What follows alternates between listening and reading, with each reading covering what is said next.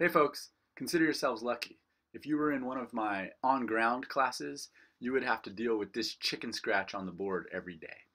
Now, uh, I know it's the beginning of the semester, and I imagine you have other courses, and you have me throwing language at you like rhetoric and cultural myths, and there's just a lot of stuff that's coming at you right now.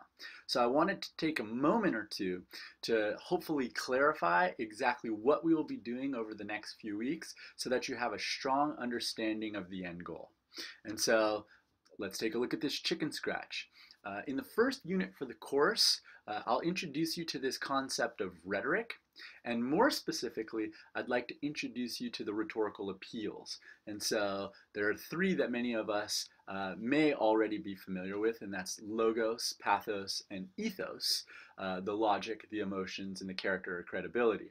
Uh, and I'm adding this fourth one, this mythos or mythos, and you can think of that as the, the language of cultural myths or cultural narratives, uh, some of the concepts that are being talked about in the first reading. And now we're going to use these concepts in a variety of ways. Uh, specifically, we're going to do two things. We're going to see how all of these concepts here play out in writing.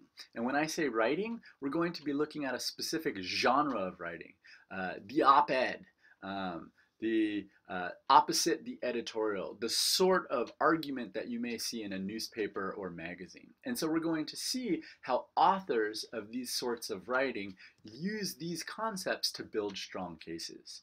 Uh, we're also going to have larger conversations. We're going to have discussion board conversations about these concepts in the real world. That is beyond just this genre of the op-ed.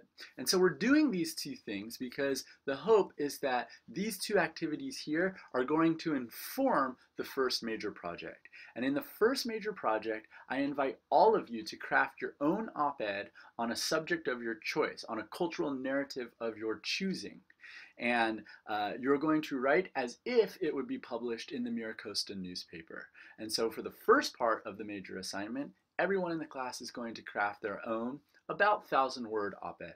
And in the second part of that assignment, everybody is going to analyze analyze, excuse me, the logical strength and rhetorical effectiveness of a classmate's op-ed. So, here are all the concepts. Here's the end goal. Welcome to the next few weeks. Take care.